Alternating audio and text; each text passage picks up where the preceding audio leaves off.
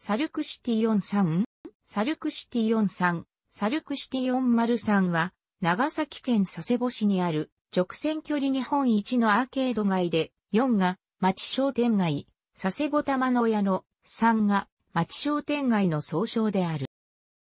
4が町商店街、佐世保玉の屋の3が町商店街が一体となって、1997年、平成9年10月9日に開設された。この開設時には、約968メートルの商店街全体を通り抜ける形でテープカットを行い、全国紙やテレビの全国放送でも取り上げられるなど話題を呼んだ。佐世保市の中心部にある通りの幅は約11メートルで、全長は約968メートルあり、約250店が出店している。国道35号に並行して北西から南東に伸びている。名称は、散歩するや歩き回るといった意味の佐世保の方言、佐世保弁、サルクに、4は4が、町商店街は、佐世保玉屋、3は3が、町商店街を合わせたものである。なお、このうち玉の屋の表すは、玉屋の玉と同社の社長の名字、田中丸の丸を掛け合わせたものとなっている。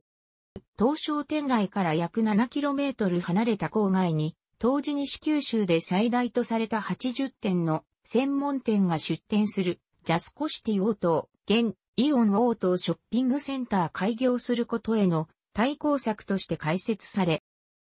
そのため、同店が開業した1997年、平成9年10月9日と同日に開設している。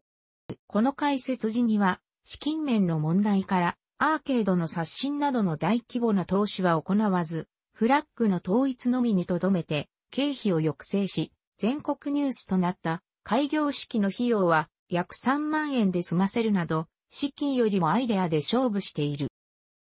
この発想の根底にあるのは、全国に展開する大手の郊外型ショッピングセンターに物量などの経済面だけで対抗するのではなく、社会的役割や文化的役割を重視して人の集まる賑わいを生ま出すことで対処しようというものであった。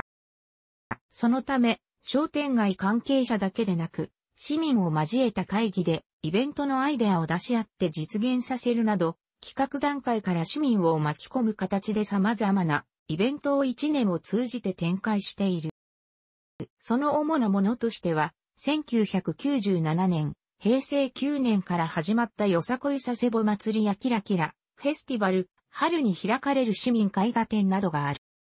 キラキラフェスティバルでは、東商店街全長約 1km の屋根が連続しているという特徴を活かし、世界一長いパーティーを開催して、ギネスブックへの掲載を狙うなど、街の特徴を活用する工夫を凝らしている。また、夏の七夕祭りのような伝統的な祭り、毎年1月2日に夜明け前から開かれる佐世保初売りや11月23日の感謝祭などの売り出しのイベントなども開催されている。こうしたイベントによる集客で賑わいを生み出す戦略が展開されたことで人口規模で日本一元気と称される商店街となっており、平日を含めて賑わいを維持している。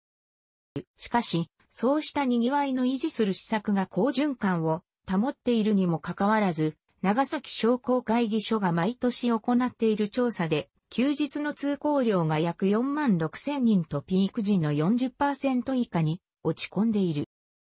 また、若者等の間では、買い物する店がないとして、約10%が福岡市まで服飾関係の商品を買い物に行く状況にあり、佐世保市民全体でも地元で買い物をする割合が約75.4%まで落ち込んでおり、かつては市内からも買い物客を集めていた集客力が低下しているとの指摘がなされていた。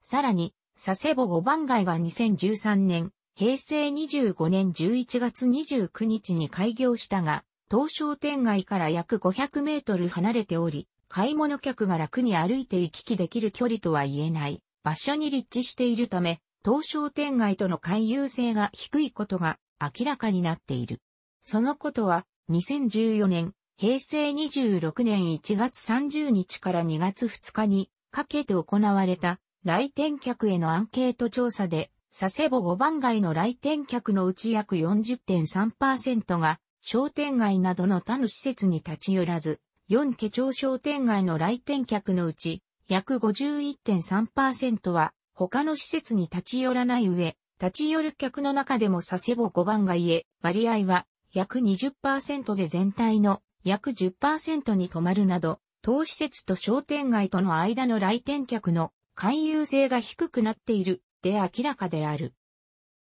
また、佐世保5番街の開業直後の約1ヶ月間では、同施設周辺の渋滞を避けて、当商店街周辺の駐車場を利用する来店客もあったことなどから来街者数はあまり変化しなかったにもかかわらず、売上が減少するなどの影響を受けている。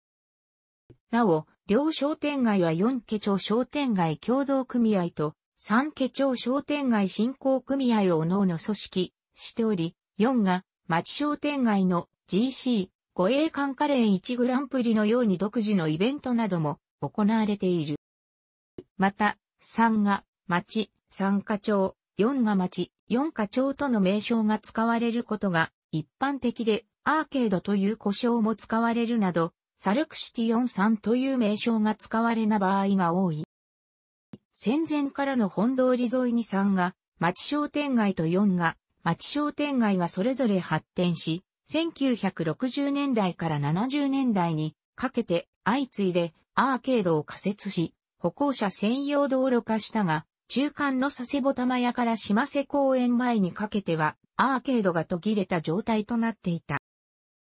両商店街間のアーケードが接続されて、現在の形になったのは1985年、昭和60年である。楽しくご覧になりましたら、購読と良いです。クリックしてください。